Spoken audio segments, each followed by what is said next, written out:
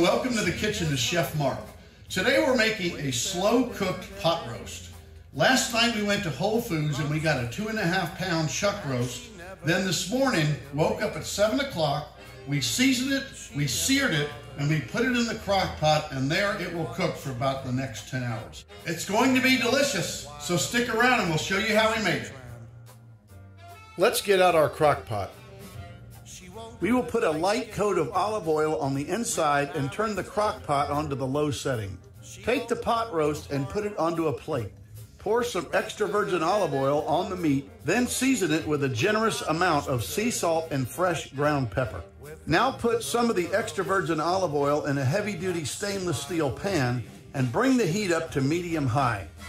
We want to sear the roast for at least three minutes per side. This will really help boost the flavor of the meat.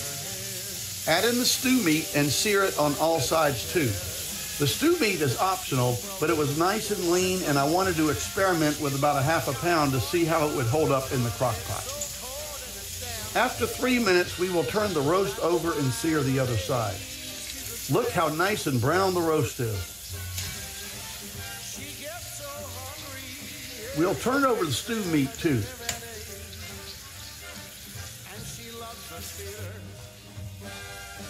Now let's make sure all sides of the roast are seared too. And once all the sides of the roast are seared, we will put the roast into the crock pot.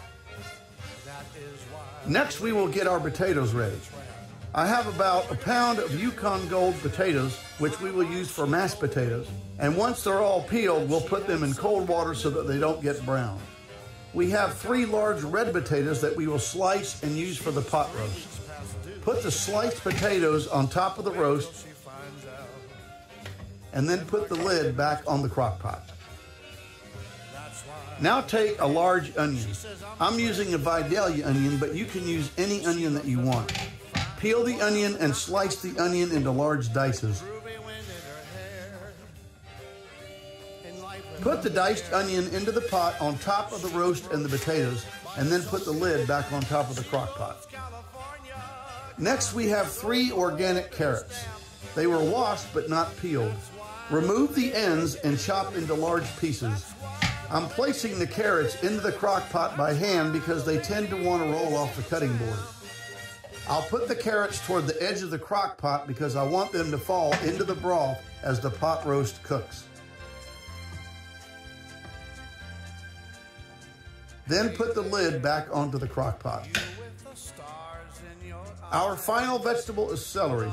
Wash and clean about four or five stalks and cut them into medium dices.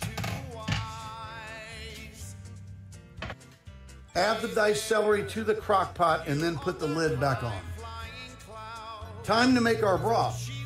Now some pot roast recipes call for water, but I don't like plain water because there's no flavor in water. My favorite way to make stock is to use better than bouillon. It's made from vegetables and meat. Don't use those square cubes if you can help it. They're almost entirely made of salt. Pour in one cup of the broth and place the lid back on.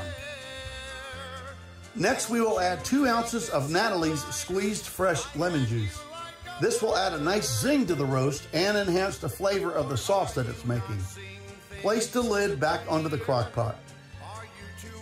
Some pot roast recipes call for you to add in one envelope of onion soup mix, but let's make our own. In a small ramekin, add a quarter teaspoon each of celery seed, pepper, sugar, and paprika, and three quarters of a cup of dried minced onion. Pour the seasoning over the pot roast and vegetables, making sure that it is spread out evenly. Then put the lid back onto the crock pot. Give the vegetables a nice stir so that everything is coated with the seasoning, and that's it. Now we'll cover and we'll seal the crock pot and allow the roast to cook for 10 hours.